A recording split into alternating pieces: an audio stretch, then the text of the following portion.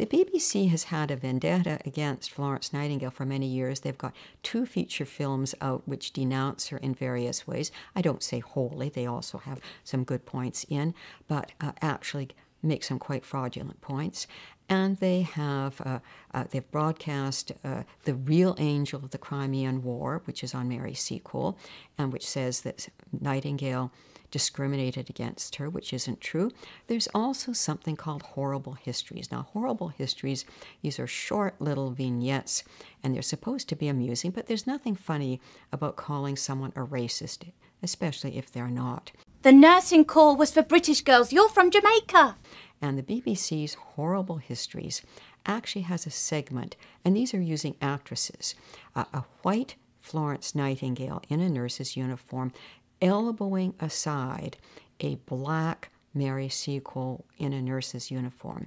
Mary Seacole wasn't black, she was three quarters white. She never wore a nurse's uniform because she wasn't a nurse. She dressed as a restaurant proprietress. No modest white cap on her head.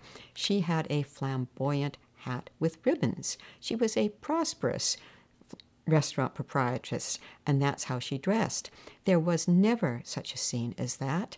This is BBC fiction, and it accuses Nightingale of being a racist. It presents her as a racist, and this is simply untrue. And yet, this is a vignette that is shown to school children, and it's available on a YouTube. The BBC has been intransigent on this subject.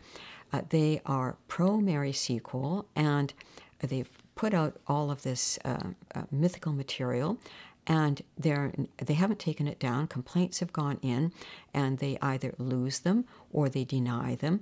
Uh, it's perfectly clear on the youtube. You see a white florence nightingale elbowing aside a black actress purporting to look like a nurse. I mean this fraudulent presentation they've been asked to take it down and to issue an apology and to get the story right